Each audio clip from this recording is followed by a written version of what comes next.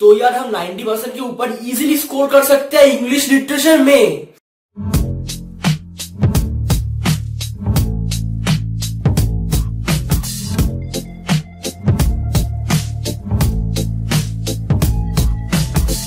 wish I found some better sounds no one's ever heard. Hey, what's up guys? I'm Akash and you're watching Akash Talks. So इस video में हम बात करेंगे English literature के ऊपर तो आप काफ़ी लोग ने मेरे को बोल रहे कि भाई आप तो इंग्लिश टीचर को एक वीडियो नहीं डाले थे तो आप प्लीज़ एक एक दो वीडियो दे दो कि हम लोगों को आसानी हो पेपर कंप्लीट करने में।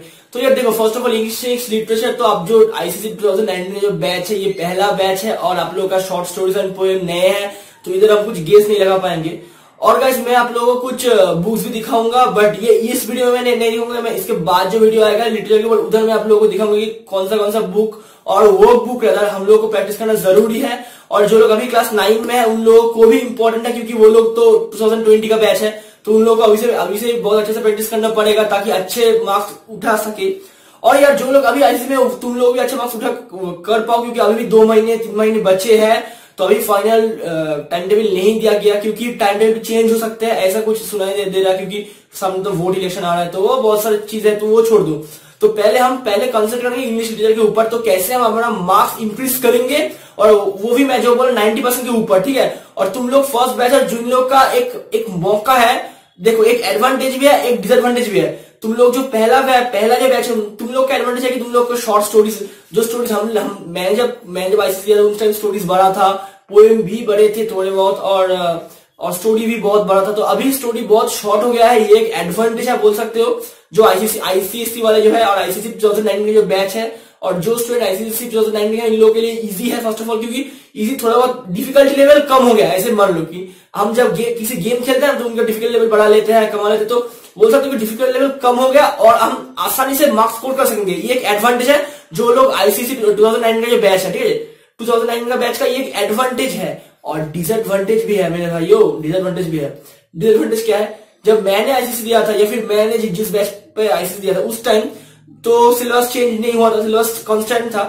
तो मैं तो हम लोग जो, हम लोग का जो सेट था, वो लोग क्या किया? वो लोग मिलाकर चार स्टोरी एंड चार पोएम छोड़ सकते हो। कैसे क्या क्यों छोड़ सकते हो? क्योंकि लास्ट टू लास्ट ईयर जो जो चीज़ आता है, ये हमेशा आईसीसी में आता नहीं है। सपोज़ मान लो कि 2018 में एक स्टोरी आया और 2017 में एक स्टोरी आया। तो तुम लोग 2019 का बैच हो। तो तुम लोग वो दोनों स्टोरी और दोनों पोएम शॉर्ट पोएम छोड़ छोड़ सकते हो।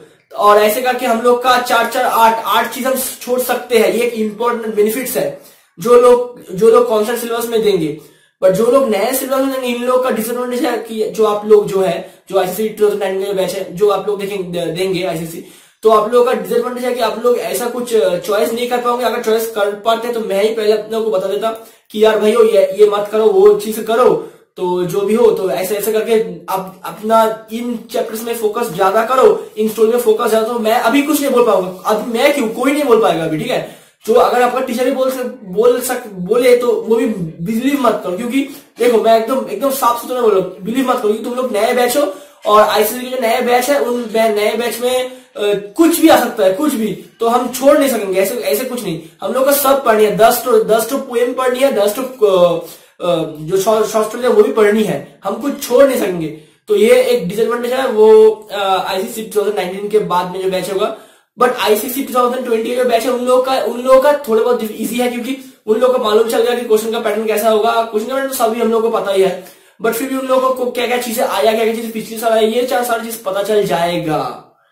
तो मैं थोड़ा क्वेश्चन का पैटर्न इलेबोरेट कर इलेबोरेट करूँगा और इस पर्टिकुलर वीडियो के डिस्क्रिप्शन में जाओ उधर मैं आप लोगों को लिंक दे दूँगा। उधर जाकर आप देख सकते हो कि सैंपल स्पेसिमेंट पेपर जो आईसीसी सीआईएस ने रिलीज़ किया, वो भी इंपॉर्टेंट है, वो एक बार देख लो ताकि आप लोगों को थोड़ा बहुत आसानी हो जाए। तो यार सेक्शन ए में तो आपको मार्चेंट ऑफ़ या फिर किसी भी एक रहेगा, जो जो पर्टिकुलर जिन स्कूल में कर रहा है, जो प्ले तो वो रहेगा। सेक्शन बी में हमारा रहता है most probably short stories sorry most probably poems तो पोएम्स में तो आपको तो करना ही पड़ेगा, जो आएगा तो उन लोगों को तो करना ही पड़ेगा। और उसके बाद आप लोगों को आएगा शॉर्ट स्टोरीज तो शॉर्ट स्टोरीज में तो जैसे क्वेश्चन आता है तो यही तीनों से हो गया section A section B section C तो ऐसे करके आप लोग को सॉल्व करनी है।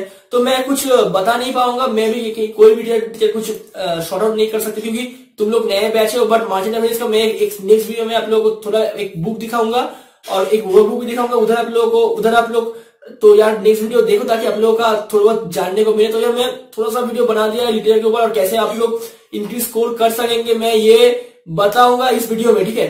तो देखो फ़र्स्ट ऑफ़ ऑल में जितने भी क्वेश्चन आते हैं, वो ज़्यादातर कुछ तो ट्वेंटी मार्क्स कुछ, जो जो लॉन्ग क्वेश्चन है तो लॉन्ग क्वेश्चन अगर तुम लोग को अच्छे तरीके से मालूम है ब्रीफली ऐसा कुछ दिया तो वो अटेम्प्ट करो। और अगर किसी पोएम का देखो, कुछ कुछ बार जब हमारे टाइम में ऐसी उधर तो पोएम का नेम दे दिया दिया गया था बट ऐसा भी हो सकता है क्योंकि आईसीसी का मामला है तो कुछ पैटर्न हम बोल नहीं सकेंगे और तुम लोग स्पेशली नया बैच हो तो थोड़ा बहुत डिफिकल्टी रहता है। बट तुम लोग नाइनटी परसेंट ऊपर स्कोर कर सकोगे क्योंकि एडवांटेज मैंने जो बोला वो एडवांटेज भी है, यही मेन बात है।